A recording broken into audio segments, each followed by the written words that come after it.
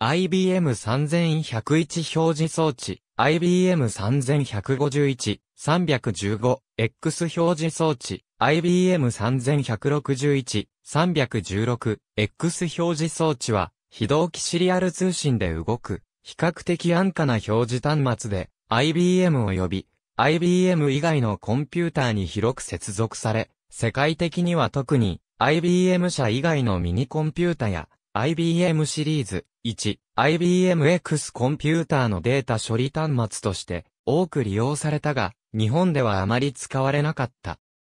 IBM3101 表示装置 IBM3101 表示装置は1979年に発表されて、次のような機能がある。それまでの IBM 製品の慣例に反して、次のような特徴があった。IBM3101 表記装置は、非同期通信機能で、IBM 及び、IBM 以外の様々なコンピューターに接続し、ディジタルイクイップメントコーポレーション、ワイズテクノロジーなどが競合する。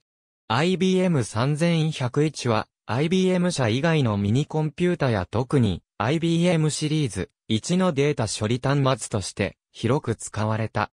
IBM3102 プリンターは IBM3101 の補助ポートに接続し、熱感紙を使って横80文字、縦6行、インチを毎秒40文字でプリントする印刷機で、各文字は 5x7 ドットマトリックスである。IBM3161 端末機、ドイツ語のセットアップ画面で1985年に発表された。1986年に発表された。1987年に発表された。オプションで次の ASCII ディスプレイ端末機をエミュレーション。日本 IBM は日本デザイン振興会からこの端末装置に1988年度グッドデザイン賞をもらっている。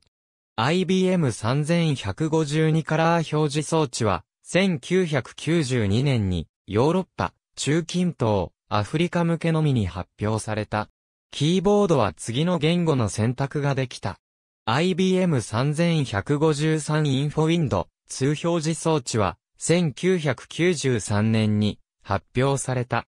IBM3101 端末機、IBM3151、315、X 表示装置、IBM3161、316、X 表示装置の開発は、IBM 通信製品部門の藤沢開発研究所で行われ、さらに後に、英国、スコットランドのグリーノック開発部門に移って行われた。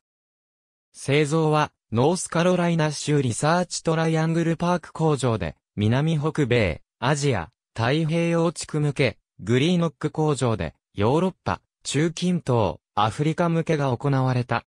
海外では、主に IBM 社以外のミニコンピュータや、IBM シリーズ1に接続して、商用、政府用、軍用のユーザーに広く使われた。日本で使ったユーザーは少なかった。